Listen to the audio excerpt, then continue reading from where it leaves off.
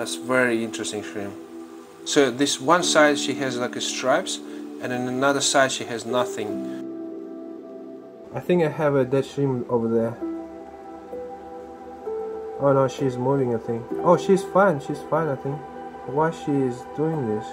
She's lazy shrimp, look. She had a nap and she eating something. she doesn't look good, huh? Let me check her. Okay, oh, oh, she's okay. She's absolutely fine. Hello everyone, welcome back to Shrimpmania. Today I'm showing you my mixed Caridina shrimp tank where I'm keeping mixed Caridina shrimps. Most of them are Black Galaxy Pinta shrimps and some of them look like a, a, Black Tiger Galaxy shrimps. Also have some blue balls here, some red Pinta shrimps, so I'm going to show you around this tank and talk about this tank today. Look at this beautiful moss here. It's called Fissidens fontanus, uh, if I'm saying it correctly. And this is my favorite moss because it's very slow growing moss. Slow, very, it's grow very slow. And uh, I already making another coconut shell with this moss here at the at the back. You can see I just made it like a few days ago. And in a few weeks it's going to be the same as this one very beautiful growing moss and it's very slow growing as I mentioned already. And here I have uh, just a, a cholla wood cactus tree with some uh, Anubias on top. Shrimps very like to hang on this uh, Anubias and on this coconut shell. As you can see I have UGF box here as well, uh, my favorite filtration method. And uh, also I have a sponge filter uh, with um, just a power pump on top it's okay to have a power pump. The downside of the power pump on a, on a sponge filter is that it's heating the water slightly and the temperature in this room is 20 degrees Celsius so it's absolutely fine to having power pump. So this tank is about one year old so it's time to change the soil. It's still okay, the pH of the in this tank is still okay, it's roughly about 5.9 and uh, I think it's still good for Caridina shrimp. Uh, as long as below 6 is okay. Once it's uh, getting higher than 6 I'm probably gonna change the, the, the, filter. I haven't been feeding them today yet but they they seems to be very happy and running around. There are a few berried shrimps in this tank and I have lots of babies as well. Uh, as you can see I have lots of blue ball shrimps as well but the blue ball shrimps they came from, most of them they came from like a pinta shrimps. Today maybe I can uh, cold this tank and remove some of the blue balls because I don't want to have blue balls here in this tank especially males. Well this this shrimp look at the shrimps uh, this shrimp look uh, like a galaxy tiger shrimp. Uh, very interesting patterns. I also have some uh, like a red pinta shrimps here. Um, they not exactly red galaxy shrimps and they more like a look like a pinta shrimp just a normal pinta shrimps I like mixing shrimps. I think it's look, looking cool when you have lots of colors in the same tank and uh, when when you have a babies you can see some babies are different colors as well and they have different patterns. Well take a look at this shrimp here. This look like a King Kong shrimp which is always good. I always wanted to have a King Kong colony but I never tried to do that so maybe in the future I can try to separate. And now I have a, a dozen at least King Kongs so in different tanks. So if I oh yeah take a look at this stream here. You see it's also like a King Kong or something. So it would be nice to separate some of them and creating a like a King Kong colony. Yeah take a look this one. The shrimp is very active. I think I'm thinking to, to give them some food so they, they, they all come to the front. So we can all take a look at them. And oh that's another one so it's like a, more like a pinta shrimp. It's good to have a mixed tank because it's full of surprises. And uh, shrimp, when, when shrimp start to breed you can you can have lots of different babies. Yeah so that's what I like about the mixed tank. So I think I'm gonna give them some food and uh, we're gonna properly look at them when they, they all come to eat. And I'm gonna feed them with uh, Rinsel, sorry about my pronunciation. It's, I think it's in German. It, it means like a, it's nettle sticks. So this is I'm today I'm gonna feed them with Dennerle nettle sticks, and I hope they're gonna like it. Normally they like it, so I'm gonna give them uh, a half of the stick. It should be enough for them.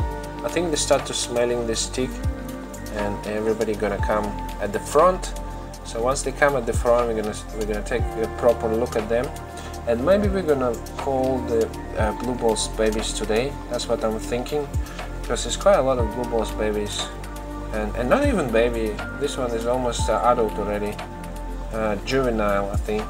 So we need to remove them from this tank and put them in a, in the blue ball tank.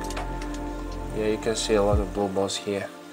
Yeah the blue balls if you keep in high-end Caridina shrimps um, make sure you have a spare tank for, for blue balls because you're gonna have lots of blue balls. Even when you have like a black galaxy colony for example you're gonna have some blue balls there and blue steels as well. So it's better to to make a space for them in advance and then you're gonna have a blue ball tank. I like blue balls actually. They're quite nice. They're looking cool. This is what the, the most common Caridina shrimp I think after the crystal red and crystal blacks. So if you beginner and starting with simple Caridina like crystal black crystal red the next stage would be the blue balls because that's the, the, the, the easy shrimp as well. It's a little bit more difficult than uh, simple crystal black and crystal red shrimps but it's still quite easy as well.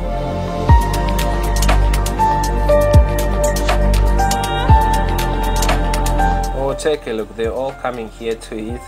They love these uh, nettle sticks. And uh, lots of babies around. I'm gonna show you some babies as well. So yeah, here you go. That little baby here. Yeah, this tank doing great. One of successful tank I have. They had some issues before. Uh, it was like a bacterial infection when the shrimp start dying and continue dying for one month and then uh, luckily it's, it's gone away and now they're doing very great. And they start to breed again and having plenty of little babies around this time.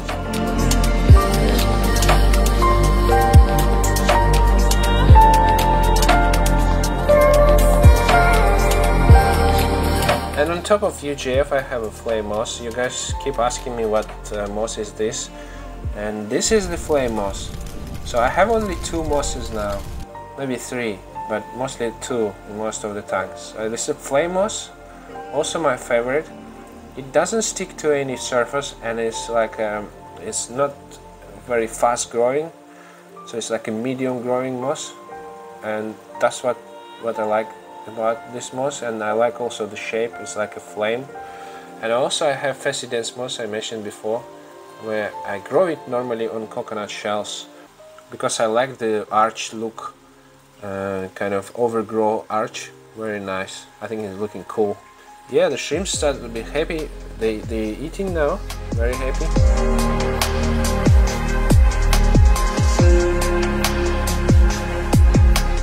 Yeah take a look. This uh, this kind of shrimp I like. It's like a King Kong with a or zebra. This is my favorite one of my favorite shrimp as well. You see the babies at the back? Yeah take a look at this baby here I think it looks like um, a galaxy tiger shrimp or very similar. I also have some snails here but this just very very basic snails. I don't like them so they, they just uh, I didn't put them here they just uh, I don't know where they came from but yeah I have to take them out. They already made some babies you can see here. So yeah have to take them out before they multiply like a crazy put a couple assassin snails so they they will eat them. Uh, not many berried shrimps here at this moment. I mean this is winter now and I kind of don't have like a lot of berried shrimps. Still few but uh, not as in the summer. So uh, hopefully when the weather get warmer uh, we're gonna see more berried shrimps everywhere. Let's catch all these blue balls baby and take him away from this tank.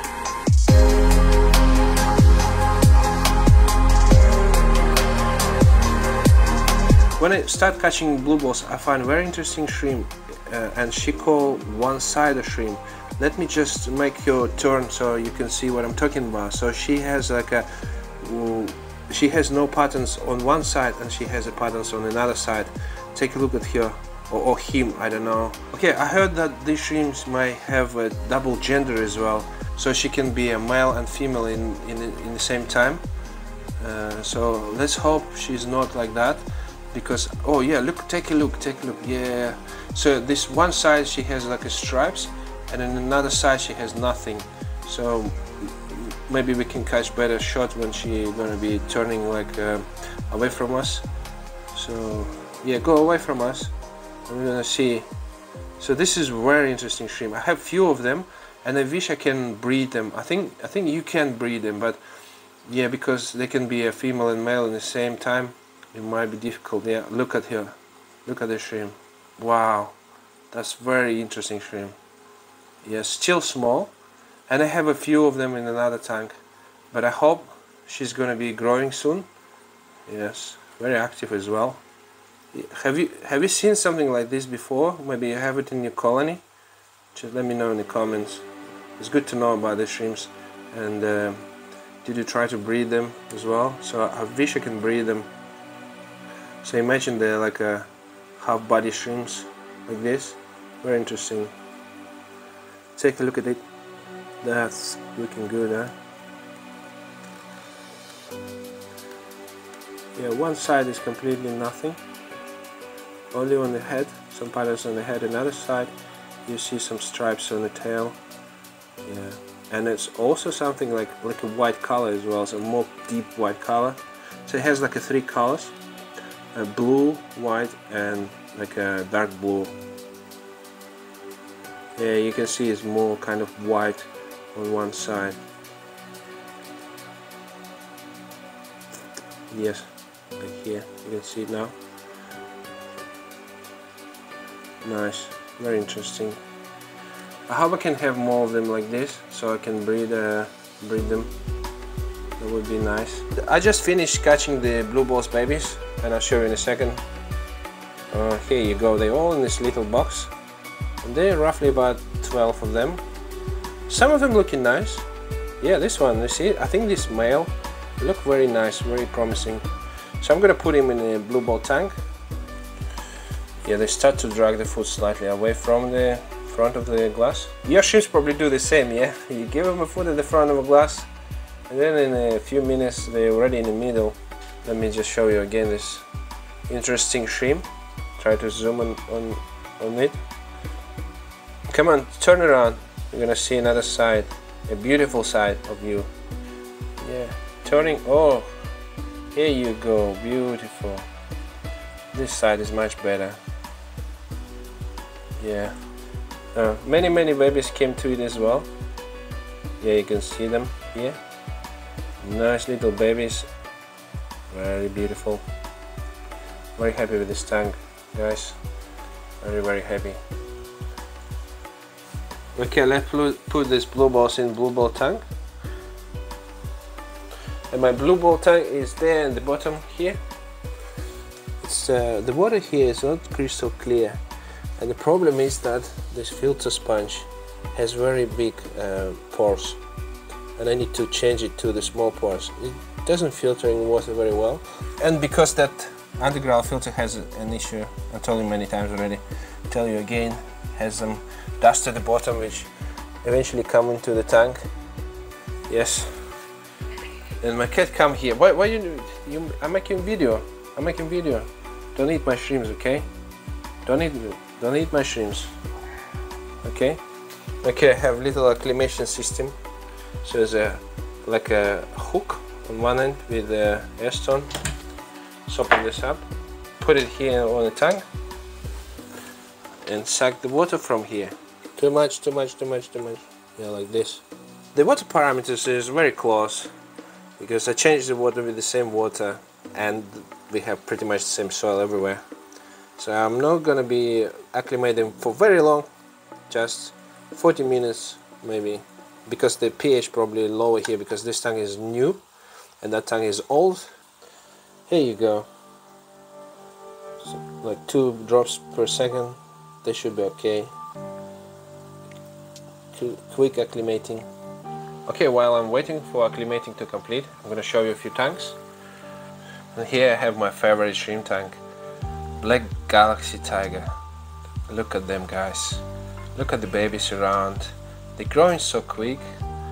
Wow. I'm super happy about this tank you might saw the video on my main channel about this tank. I'm very excited.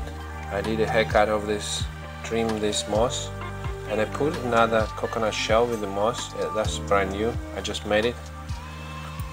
And yeah take a look at these shrimps. They gorgeous. Fantastic shrimps. Very happy about them. They're now feeding on the same food I feed that tank. Nettle stick very very happy about this food because they love this food. You see that yeah? They very love this food. And I feed them yesterday with protein food. They hungry every day. Take a look at them. They're so active. The most most beautiful shrimp I have I think. Yeah there's a lot of babies on that glass enjoying that biofilm. Lots of lots of babies around. So yeah still growing some of them very little. And I have some red babies as well. Red galaxy tigers. So this this is good I have red galaxy tigers. I don't I didn't have them before so I didn't buy them. Yeah this is a red galaxy tiger yeah. Came from black galaxy tiger. I have a few blue balls here as well. And I call them later. Very beautiful. And here I have a Mischling like a hybrid shrimps yeah. Mostly females mixing with uh, pinto males so you can see pinto they males and they're making like mixing babies like 50% of pinto babies and 50% of just uh, crystal shrimps but hybrids as well Mischlings as well. So very exciting about this project. Uh, I need to make a proper video about this project because this is the the part two of my crossbreeding project. Where crossbreeding uh, with uh, crystal black shrimp in the beginning and then the babies grow up, I took some females, put them here with the, again with the, uh, with the Pintos uh, males, mixed them together, and they're making some babies now. So this is a part two for video. I'm not gonna spoil a lot of that, but yeah, shrimp's looking good here. Okay, let's go to the next tank. Okay, this one is um, just a black zebra, black pinta, black galaxy. So basically the galaxy shrimp which has a more black uh, coloration. And in my last video I just changed the soil in this tank and also in this tank next to it and I'm very happy about this soil. I also cut the moss and removed floating plants and the tank become very bright and you can see it look like a, lot of space here and I can see shrimps much better. So the shrimps start to be less shy come around eating. You see the shrimps are very active and I'm very happy about this tank. I have assassin snail here. I think she is sleeping. And I also put a normal snail here just for, for her, so she's not attacking my shrimp. So if you have assassin snails, make sure they have a food, a live food like uh, snails, otherwise they might hunting your shrimps. So yeah, it's happened before with me. When they're hungry, they don't mind to eat the shrimp, yeah, and they, they will try to attack it and hunt it. And one day they might catch it so it's better to give them a little bit of of snails like a one by one maybe once a, one a week two a week depending on the population yeah. Here I have a red galaxy shrimp here and this tank they're doing fantastic as well. Three or four bedded females here I saw. And now it's better to see while, while we change the soil and cut the moss. So yeah doing doing great here. Feeding with the same food. Everybody having the same food today nettle mix, no floating plants anymore. Good, so hoping the algae and biofilm gonna be growing better now without floating plants. So yeah, so and here at the top I have uh, just a coal tank uh, where I mix a lot of color shrimp as well. Also like this tank because I like mixing the colors. And when you look at this tank, you have like a, you see like a black, blue, red color shrimps yeah, you look fantastic. Look good, yeah. Uh, looking very good. Very like it. Also have some Fissidens moss on the coconut shell as always. Very like this moss and the flame moss there on UGF. Very neat tank. Lots of babies as well. They start to breed recently this shrimp tank. And they have many, many babies. Babies look uh, good. Some of them like, let me zoom and show you. Take a look at this baby. Very beautiful color, yeah. Some of them of course Mischlings like this one because I have also crystal black shrimp here somewhere which is continue to breeding a lot. Maybe I'll find here later. Oh, no, no, it's not here, it's panda shrimp. Okay, now let's uh, put him in the blue ball tank. Our little blue balls.